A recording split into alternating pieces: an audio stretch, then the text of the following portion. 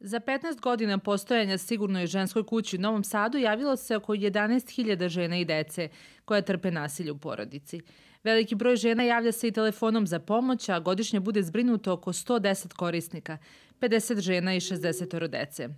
U Sigurnoj ženskoj kući kažu da je od osnivanja te ustanove do danas došlo do značajnog pomaka u primjeni zakona i propisa, kao i do poboljšanja multisektorske saradnje.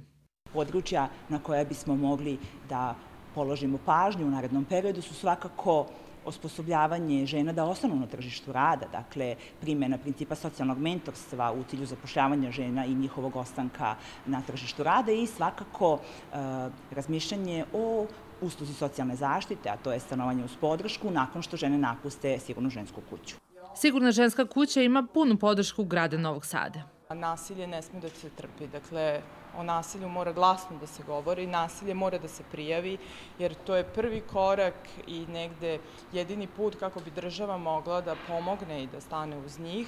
U Sigurnoj ženskoj kući trenutno boravi 14 korisnika, 7 žena i 7 dece. Novosadski centar za socijalni rad za proteklih pet godina, nažalost, beleži porast nasilja za više od dva puta, tako da se godišnje centru javi više od 2000 žrtava nasilja u porodici, kaže Padejski.